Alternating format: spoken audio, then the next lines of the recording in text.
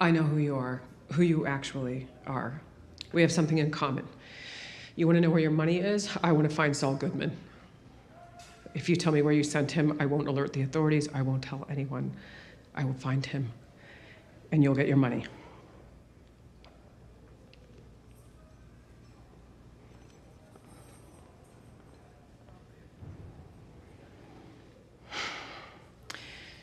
Mr.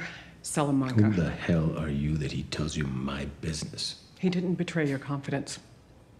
We're married, which means I have spousal privilege. Anything he says to me stays with me.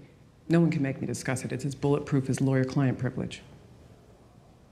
So you're his wife? Yes. Una buena. Bien por él. So you're his wife, and you love him, and he didn't come home last night, and you got scared enough to come down here and talk to me.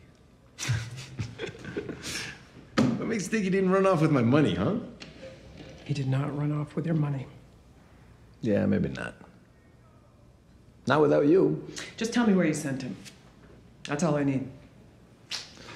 I don't think so. Your man, he's um he's like the cucaracha, you know? Born survivor. If trouble found him, give it a day. If he's alive, he'll show. And if he's. Well, then, day's not gonna make a difference, is it?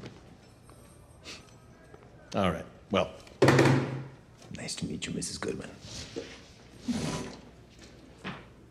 Wait, um, Mr. Salamanca.